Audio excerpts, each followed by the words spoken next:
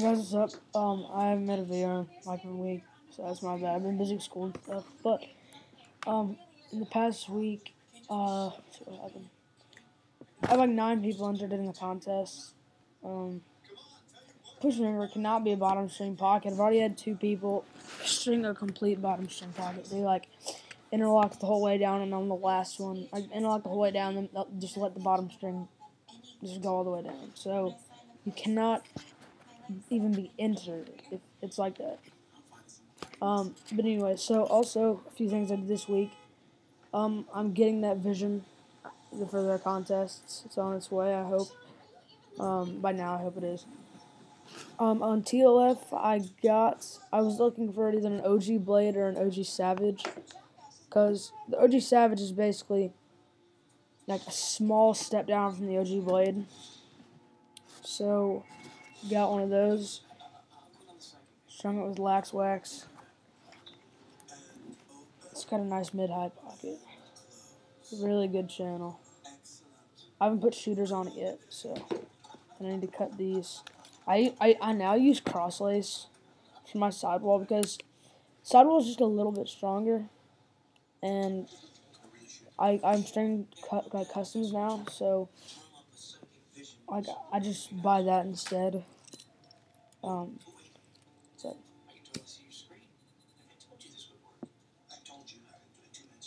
Also, um, I set up I set up a website.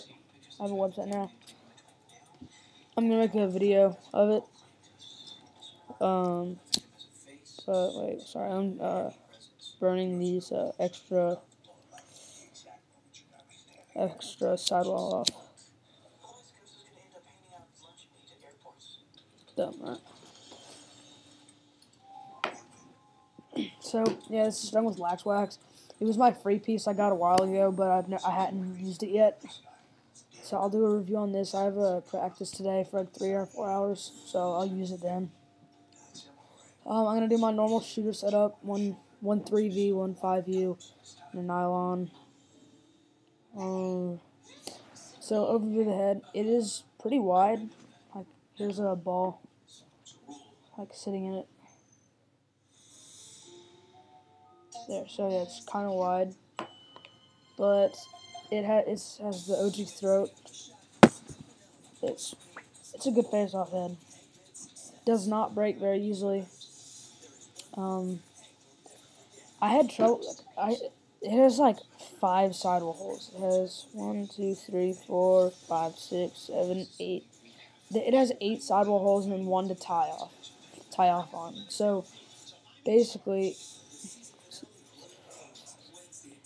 Basically, you have seven stringing holes because you use the top one, or maybe the top two if you do a triangle top string. You use that for um for tying off the top string, so that leads you to here. Then you have to tie on this one.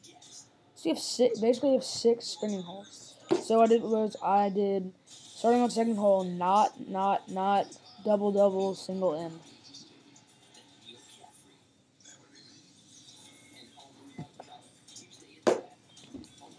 Um, yeah, here's a channel shot again. For such a wide head, I'm impressed with my channel. Like,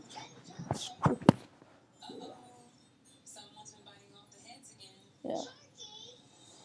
Oh, also, I, um, this guy sent me an email from, he's this guy who makes lax wax. It's not like lax wax mesh, which is this.